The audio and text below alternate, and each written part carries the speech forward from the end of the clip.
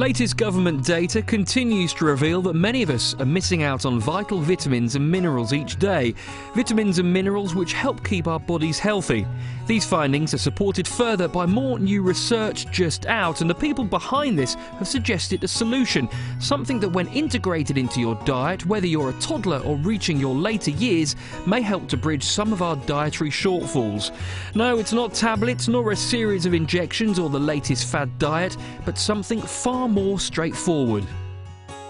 Here to tell us more and explain what nutrients we're missing out on are the researchers themselves from this latest study news, Professor Robert Pickard and Dr. Carrie Ruxton.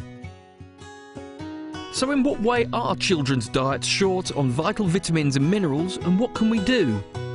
For infants and preschool children, studies continue to show that diets in this age group are low in vitamins A, D, iron and zinc. One study, in fact, found that the diets of 18-month-old infants was low in many of these nutrients, and similar findings have come from another study involving infants aged 12 months. With younger school-aged children, research again reveals a very worrying picture with diets low in vitamin A, magnesium, iron and zinc. In fact, the latest government research, the National Diet and Nutrition Survey, when you look at 4 to 10 year olds, revealed that girls had inadequate vitamin A intakes and also 1 in 10 girls had inadequate zinc intakes. Vitamin D is also a massive issue for this age group with average intakes less than half of the recommended level. Teenagers' diets don't fare much better as they too are low in key nutrients such as vitamin A, vitamin D, iron, magnesium, zinc, selenium and potassium. Vitamin D insufficiency is widespread amongst UK children and there is unfortunately a higher risk of deficiency in ethnic minority children. Nutrients in red meat have got important roles in growth and development for both children and teenagers. For example, vitamin A is needed for eye function and immune health, zinc is needed for growth, and iron for brain development.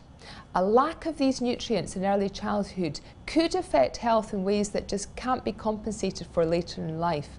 So it's a good idea then that red meat is included within a healthy balanced diet from weaning onwards. In fact, emerging research suggests that including red meat in the weaning diet could relate to improved health outcomes such as reduced obesity and better cognitive development, and that just has to be great news.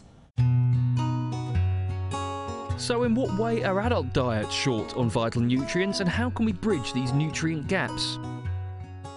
Iron appears to be a real issue for women in the reproductive years and about a fifth of women fail to meet the minimum daily recommendation for iron.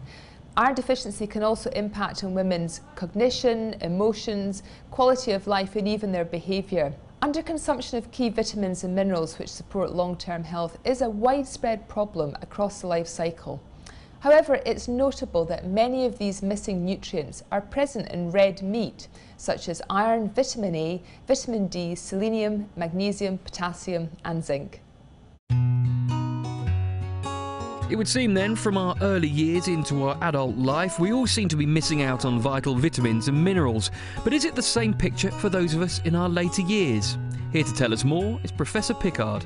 After the age of 60, it's much more difficult for uh, individuals to absorb nutrients from the gut. So it's important to include some foods in a balanced diet that are especially rich in vitamins and minerals, uh, and of course red meat is one of those foods. Minerals such as potassium, uh, zinc and magnesium uh, we know uh, tend to be relatively low in the diets of elderly people and so meat being a rich source of those nutrients uh, is a particularly good food to include. The government uh, has an advisory committee called the Scientific Advisory Committee on Nutrition and this gives advice which is uh, acted upon by the Department of Health and by the Food Standards Agency. And they uh, base their advice on scientific evidence rather than uh, particular ideas and mantras that are, abound in the popular press. And if you look at their recommendations, you will see that they have a very clear place for red meat in a healthy, balanced diet, and uh, you might reasonably expect uh, to eat up to 70 grams of red meat per day and up to 500 grams uh, of red meat over a, um, a seven-day period. One of the other problems that you have, of course, as you get older is that you tend to lose muscle mass a condition that we call uh, sarcopenia. And uh, there is no doubt that having a good supply of suitable proteins, uh, as you have in red meat, will help you to uh, cope as well as you can uh, with that particular condition. One of the important things uh, about old age is that people accept declining cognitive function thinking that it's a consequence of their aging processes, whereas really most people shouldn't lose more than 5% of their cognitive ability up to the age of 80, even though you might lose your ability to recall memories uh, much earlier than that, from about 35 onwards. Now, when we look at meat, we find that minerals such as zinc and potassium and magnesium are all really important to the correct functioning of nerves and muscles. And we have good research to show that if you can keep those particular nutrients high within your body, then your brain will be able to repair itself as damage occurs, uh, particularly during old age.